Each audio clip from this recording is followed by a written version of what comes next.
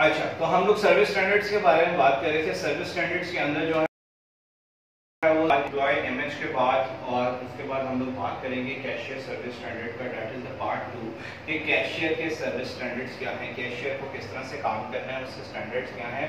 How he will do billing जब customer counter आएगा cashier service is the most representative service in the store cashier service जो है वो सबसे ज़्यादा रिप्रेजेंट करने वाली जगह है, क्योंकि हर कस्टमर ने आपके कैश काउंटर पे आना है। हर कस्टमर ने एंटर होते हुए काउंटर को देखना है। कस्टमर अगर बाय नहीं भी कर रहा, तभी वो कैश काउंटर के ऊपर देख रहा है कि कैश काउंटर के ऊपर क्या हो रहा है। तो कैशियर सर्विस जो है सबसे मोस्ट रिप्रेजेंटेटिव सर्विस पार्ट है इन द स्टोर इसके अंदर कुछ चीज़ें ऐसी हैं, इसके अंदर एक हमारे पास जो हमारा standard that is a five step of cashier service and behaviour norms उसके अंदर ऐड होंगे।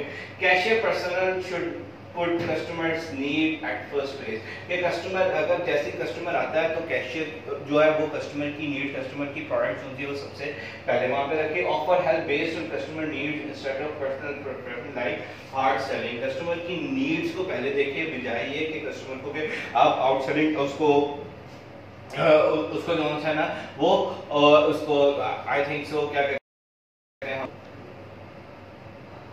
ऑफ़ सेलिंग या कस्टमर को जो है, वो हम लोग अपनी प्रोडक्ट्स जो हैं, वो बेचनी शुरू करते हैं। बजाय ये है कि हम क्रॉस सेलिंग करें कस्टमर की नीड्स को पहले हम लोगों ने देखना है। If you satisfied, they will have a great time in the store and we can make the best out this transaction. अगर हम लोगों ने कस्टमर के साथ अपनी सेटिस्फेक्शन अच्छी बना देते हैं कस्टमर के साथ अपना माइंडसेट अच्छा बना देते हैं, फिर हम उस कस्टमर के साथ अच्छे तरीके से भी सेल कर सकते हैं। ठीक है? Those are the most must dos as a successful cashier five step cashier procedure अब हमारा कैशियर प्रोसीजर क्या है? हमारा फाइव स्टेप्स का प्रोसीजर है, जिसके अंदर पाँच स्टेप में आता है greet customer cross sell voice amount identify currency और बिडिंग फेयरवेल ये पाँच स्टेप जो हैं हम आगे ब्रीफली डिस्क्राइब करेंगे. सबसे पहले आता है हमारे पास ग्रीट कस्टमर कस्टमर को सबसे पहले आपने ग्रीट करना वेलकम टू मिनीसो जैसे कोई भी कस्टमर आपके स्टोर के अंदर एंटर होता है ही but but in the store you have to say good greetings उसको वार्म वेलकम करें, उसको वार्म विशेस अप्लाई करें. सो गुड मॉर्निंग सर अस्सलाम वालेकुम टू मी सो कस्टमर को ग्रीट करें. कस्टमर जब भी काउंटर पे आता है, उसको अच्छी तरीके से ग्रीट करें. वेलकम टू मिनीसो उसके बाद कस्टमर को हम लोग जो है, वो ग्रीट करेंगे. ग्रीट करने के बाद welcome to please check over here और हम लोग अपना हाथ उठा के five finger closing together smile and have a eye contact with the customers hello welcome to meanings ठीक है? तो इस तरह से हम लोग कौन सा वो एक्सप्रेशन कस्टमर को दिखाते हैं ताकि कस्टमर आपके पास आके वहीं से चेकअप करवाए। The second one is the cross selling cross selling में क्या है? की पॉइंट्स क्रॉस सेलिंग अगर हम लोग अपने कैश काउंटर के ऊपर पास कोई ना कोई चीज़ें रख लेते हैं, आपने देखा होगा अक्सर स्टोर्स के ऊपर, अक्सर बड़े स्टोर्स के ऊपर मॉल्स के अंदर के कैशियर्स ने कैश काउंटर के पास कुछ चीज़ें रखी होती हैं चॉकलेट्स होती हैं जूसेस होते हैं पाइन जूसेस होते हैं इसके स्टेशनरी की चीज़ें होती हैं, कुछ इस तरह की जो उनसे छोटी छोटी प्रोडक्ट्स हैं, जो हमारी नीडी होती है, जो हम कैश बिल करवाते करवाते हम लोग वो बाय कर लेते हैं। That is a cross selling एक कस्टमर अपनी प्रोडक्ट्स लेके आया कस्टमर को बिल करवाते करवाते आप कोई ना कोई प्रोडक्ट उठा के कस्टमर को क्रॉस सेल करें, ताकि कस्टमर वो बाय कर सके। अगर कस्टमर ने कोई इलेक्ट्रॉनिक टॉय परचेज किया तो आप कस्टमर को सेल उसके साथ जो उनसे वो बता सकते हैं। रेफर कर सकते हैं। कस्टमर ने अगर कोई स्किन केयर लिया है नेल पॉलिश लिया है तो आप कस्टमर को नेल पॉलिश रिमूवर्स भी क्रॉस सेल कर सकते हैं। ठीक है? इस तरह से जो है आप कस्टमर को क्रॉस सेलिंग कर सकते हैं। लेकिन क्रॉस सेलिंग के पॉइंट्स क्या हैं? How we select the cross selling cross selling के चार पॉइंट्स हैं, लेकिन बेसिस के ऊपर हमने क्रॉस सेलिंग वाली चीज़ों को सिलेक्शन करना है। साइज़ पॉपुलैरिटी प्राइस और कन्वीनियंस साइज़ मतलब वो प्रोडक्ट जो चाहिए वो साइज़ के अंदर इतनी छोटी होनी चाहिए कि इजीली कस्टमर उसको पैक कर सके और आपके बॉक्स में फिट आ सके। पॉपुलैरिटी गुजरते गुजरते आपसे पूछे भी ना कि ये क्या चीज़ है, इसका यूजेज क्या है और वो इजीली पे करें और बाय कर लें।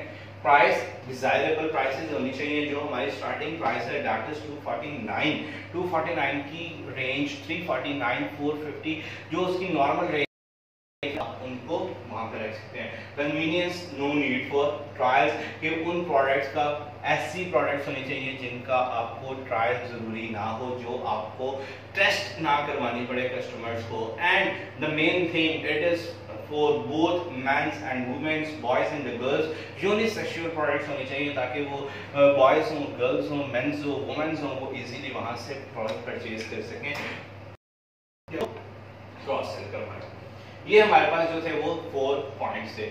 उसके बाद हमारे पास आता है द थर्ड स्टेप पहला स्टेप था हमारे पास ग्रेटिंग उसके बाद सेकंड स्टेप था cross selling the third step is voice voice amount क्या है? जब भी आपने अपना बिल कर लेना है फाइनल कर लेना तो कस्टमर को आपने बोलना है your amount is two thousand and fifty rupees you will pay by cash और कार्ड आप कैश से पे करेंगे या कार्ड से पे करेंगे? फॉर दैट कस्टमर आप कैश पे कस्टमर अगर कहता है, मैं कैश दूँगा या कार्ड दूँगा तो हमारे पास सिस्टम में उसकी कैश या कार्ड मेथड चेंज करने की ऑप्शन अवेलेबल है।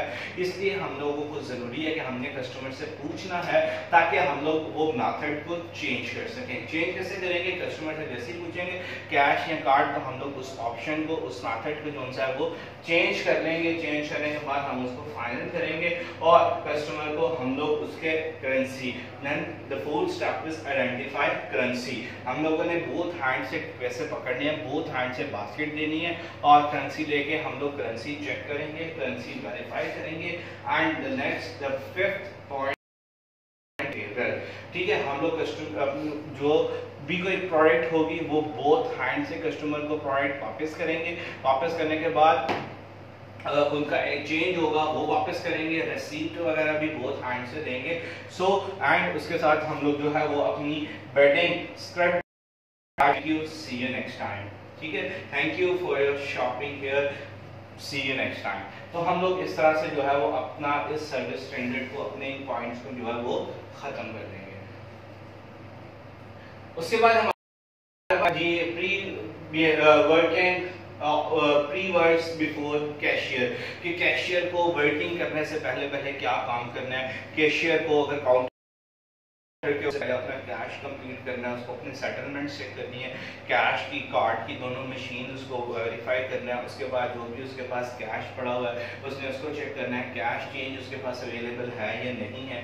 वो जो कस्टमर नीड्स उसके पास कॉइन्स अवेलेबल है या नहीं है कैश काउंटर का एरिया क्लीन करना है सिस्टम को वेरीफाई करना है सिस्टम को सेट करना है और उसको ओके करके अपने स्टेशनरी ड्रॉस अपने स्टेपलर पेन्स स्टेपलर और स्टेपलर पेन्स और कोई भी ऐसी चीज़ें जो आपको रिक्वायर्ड हैं, उनको प्रॉपरली अच्छे तरीके से आप अपने करके अपने कैश काउंटर की फ़ील्ड पे हर चीज़ आपकी मैनेज हो। ठीक है? और उसके बाद ये था प्री वर्क और आफ्टर वर्क ये है आफ्टर वर्क के अंदर हम लोग जो है आफ्टर वर्क में रिपोर्ट्स को करना रिपोर्टिंग करना फाइल्स बनाना डेली सेटलमेंट करना, उसको बना के फ़ाइल के अंदर ऐड करना। ऐड करने के बाद हम लोग अपना जो सा कैश है, उसको सेफली उसको काउंट करना सॉरी अपने कैश को सेफ़ काउंट करना। करने के बाद उसको प्रॉपरली रिपोर्ट्स के साथ लगा के, उस पर स्टेप लगा के, ताकि आप उसको बैंक में या ऑफ़िस में सबमिट करवा सकें डिपॉजिट करवा सकें। ठीक है? तो ये कुछ पॉइंट्स है सेफ्टी के। पॉइंट्स के हवाले से प्री वर्क और आफ्टर क्या था? And then the third part is efficient service standards के अंदर हम लोगों ने अभी तक दो चीज़ें पढ़ी। सबसे पहले था हमारा सर्विस स्टैंडर्ड क्या है? सर्विस स्टैंडर्ड होता क्या है? कंपनी का स्टैंडर्ड क्या है? और उसके बाद हम लोगों ने पढ़ा ऑफ़ कैशियर कैशियर के बाद अभी हम लोग तुमसे वो पढ़ेंगे। देखेंगे पार्ट थ्री एफिशिएंट मीटिंग का। एफिशिएंट मीटिंग क्या है? एफिशिएंट मीटिंग के अंदर यहाँ पे एक हमारे पास कोट है morning is the best time of work day कि सुबह का टाइम जो सा है वो बहुत बेस्ट होता है कोई भी काम करने An effective meeting will lay down, will lay the foundation of a successful business day. अगर आप मॉर्निंग में सुबह के टाइम एक अच्छी सी मीटिंग कर लेते हैं तो आपका सारा दिन एक बहुत अच्छा सक्सेसफुल डे गुजरता है। आपके टारगेट्स आपके गोल्स उनसे वो अचीव हो जाते हैं। हाउ अच्छा अब मॉर्निंग प्रोसीजर है हमारे पास मॉर्निंग मीटिंग प्रोसीजर जब भी सुबह आए, अपना स्टोर स्टाफ आपस में या manager manager will do a short meeting एक शॉर्ट मीटिंग कंडक्ट करे डेली बेसिस के ऊपर उस शॉर्ट मीटिंग के अंदर कुछ पॉइंट डिस्कस करने हैं। और वो पॉइंट्स यहाँ पे मेंशन है that is conducted on eight points of meeting सबसे पहले ग्रीटिंग आपस में ग्रीट करें। नंबर ऑफ़ करें जो भी स्टाफ कर रहा है वन टू थ्री फोर ताकि अटेंटिव हो जाए। उसके बाद इंट्रोड्यूसिंग न्यू कमर्स अगर कोई न्यू कमर ऐड हुआ है, कोई न्यू स्टाफ कोई न्यू मेंबर ऐड हुआ है, कहीं से ट्रांसफ़र होके आया तो वो अपना इंट्रोडक्शन दे। उसके बाद प्रीवियस सेल्स ब्रीफिंग ये कल की सेल्स की ब्रीफिंग देगा स्टोर मैनेजर या असिस्टेंट मैनेजर की कल की क्या सेल्स थी। उसके अंदर कम क्यों थी, ज़्यादा क्यों थी, उसके अंदर क्या ड्रॉबैक्स थे उनके अंदर अच्छा क्या था। लेटेस्ट अनाउंसमेंट अनाउंसमेंट्स ऐड होंगी। उसके अंदर कोई भी new announcement from the company from the operation head from the company uh, from the area manager from the display team. Any announcement कोई भी अगर एक्टिविटी रन हो रही है कोई भी तो वो लेटेस्ट अनाउंसमेंट आपको ग्रुप में बताई जाएगी मीटिंग में बताई जाएगी। उसके बाद समराइजिंग शेयरिंग एंड ट्रेनिंग उसके बाद उसको समराइज करेंगे सारी चीज़ों को आपस उनको ट्रेनिंग देंगे। किसी को किसी चीज़ के बारे में नहीं पता, किसी प्रोडक्ट के बारे में नहीं पता, जो चीज़ें डिस्कस हो रही हैं उनके बारे में नहीं पता, उनको उनके लिए, उनके बारे में ट्रेन करवाया जाएगा और उसके बाद उनको वर्क अरेंजमेंट बताई जाएगी कि आपका ये काम है, आज आपने डिस्प्ले करना है, आज आपने कैश काउंटर पे रहना है।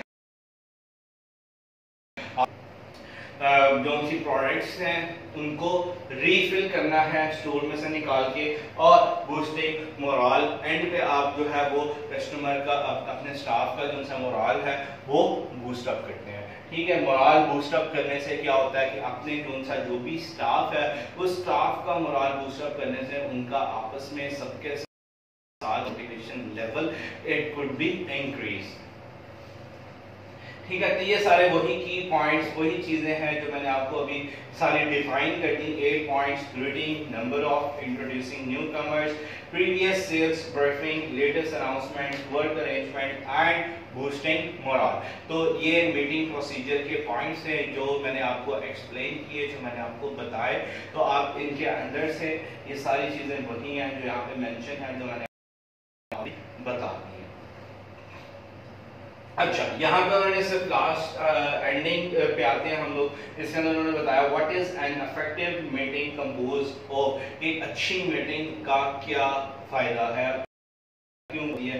टारगेट्स क्लियर हो जाते हैं clear and logical well organised quick decisions and high efficiency और अगर आप अपनी मीटिंग्स नहीं करते बिज़नेस पुअरली ऑर्गेनाइज्ड और लो एफिशिएंसी ठीक है? तो मीटिंग करने, ना करने का और करने के क्या मकसद है? उनके बेनिफिट्स क्या हैं?